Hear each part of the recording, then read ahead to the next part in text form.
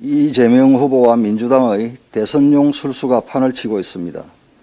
이재명 후보가 다주택자 양, 양도소득세 중과세에 이어 유예에 이어 공시가격 전면 재검토를 주장하더니 어제 종부세 완화까지 기존의 입장을 손바닥 뒤집듯 말바꾸기를 하고 있습니다. 이재명 후보의 태도가 돌변한 것은 어제 오늘 일이 아닙니다. 이재명 후보는 본인의 트레이드 마크나 다름없는 국토보유세 도입에 대해 부정적인 여론이 일자 국민이 반대하면 하지 않는다고 했다가 또 처리한 일이 없다고 했습니다. 도대체 하겠다는 것인지 안 하겠다는 것인지 후보 본인마저도 혼란스러울 것입니다. 여기에 민주당도 가시하고 있습니다.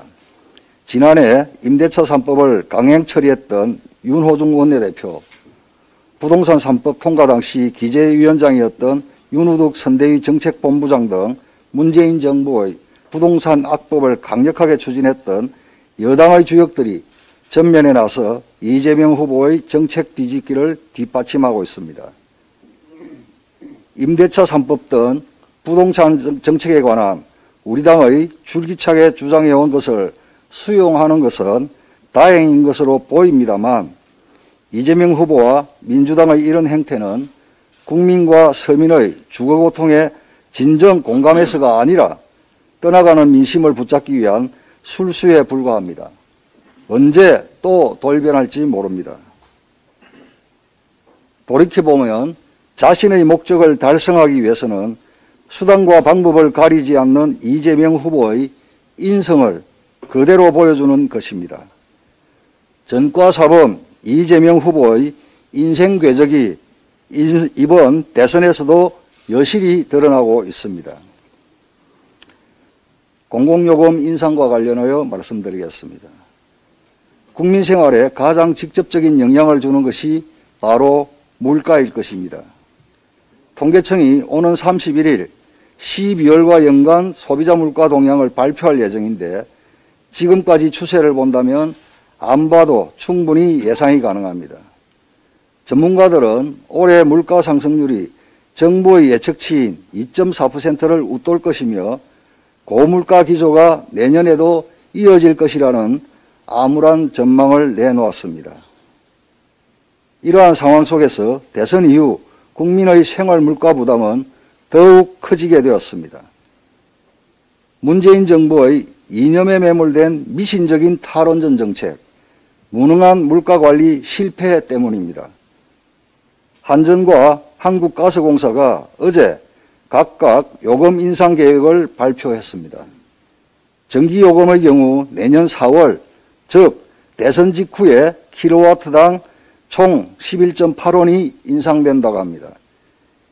기준 연료비는 내년 4월과 10월 두 차례에 걸쳐 각각 4.9원씩 올리고 기후환경요금은 내년 4월부터 킬로와트당 2원 인상된다고 합니다. 주택용 4인 가구는 월 평균 1,950원가량 전기요금 부담이 늘어나게 될 것입니다. 가스요금도 5월, 7월, 10월 무려 세 차례나 인상이 예정되어 있습니다. 2, 3회 걸친 단계적 인상을 통해 전기요금은 10.6%, 가스요금은 16.17%나 인상된다고 합니다. 그러지 않아도 코로나19 장기와 살인적인 생활 물가로 인해 생활고에 시달리는 서민과 국민에게 부담을 한꺼번에 지우는 그야말로 청천벽력 같은 소식일 것입니다. 이는 공공요금 인상에 대한 책임을 져야 할 문재인 정부가 차기 정부와 국민에게 그 부담을 전가시킨 것입니다. 문재인 정부는 지난 4년간 근거 없는 탈원전 정책 추진과 이에 따른 값비싼 신재생 에너지 투자 확대 등을 통해 한전의 부담을 급격하게 늘려놓았습니다. 올해 한전의 부채는 142조 원을 넘었습니다. 이자 비용만 연간 2조 원에 이른다고 합니다. 이렇게 폭탄 수준의 국민 부담을 키워놓고도 문재인 정부는 자신들의 정치적 이익만 고려했습니다. 물가 관리, 국민 부담 완화라는 명분 뒤에 숨어 지난 20일 공공요금을 동결했지만 결국 일주일 만에 대선용 국민기만용 요금 동결임이 드러났습니다. 대선에서 자기들에게 유리하도록 공공요금의 인상 시점을 의도적으로 대선 이후로 지연시키는 술수를 쓴 것입니다. 결국 문재인 정부는 민생보다 대선 노름에만 매몰, 매몰되어 있습니다. 국민에 대한 일말의 책임감도 없습니다. 직무를 유기한 행태에 분노하지 않을 수 없습니다. 우리 국민은 문재인 정부, 민주당, 이재명 후보에게 또 속지 않으실 것입니다. 오늘 아침 민주당이 정부와 쌀값 시장격리 당정 협의를 하였다고 합니다.